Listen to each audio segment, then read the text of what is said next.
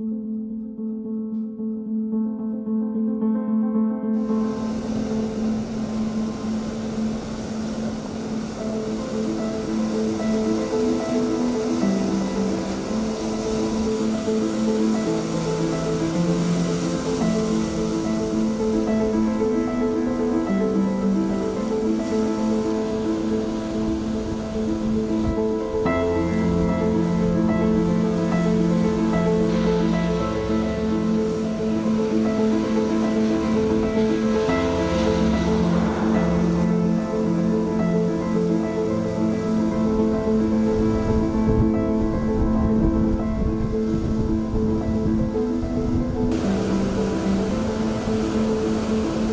Tokai or Kanto region tomorrow before sweeping across eastern Hokkaido on Sunday.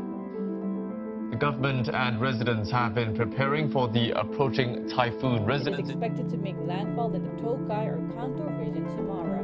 The agency said Hagibis may issue a maximum level 5 heavy rain warning in the metropolitan area, only applied when life-threatening disasters are To buy those key supplies, many purchased water in bulk as well as food for the weekend. Reports say that some supermarkets